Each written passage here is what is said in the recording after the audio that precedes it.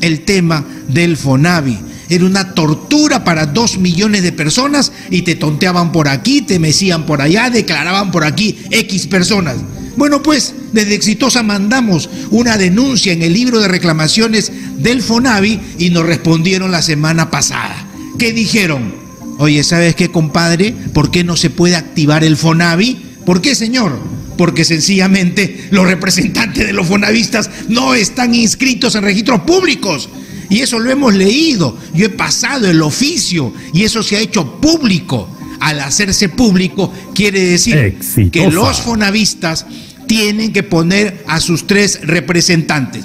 ¿Por qué? Porque el, el Ministerio de Economía y Finanzas ya tiene a sus tres.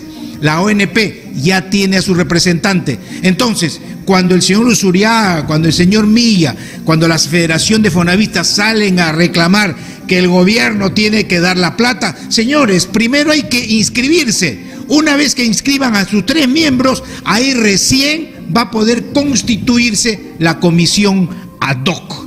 Eso es lo que falta.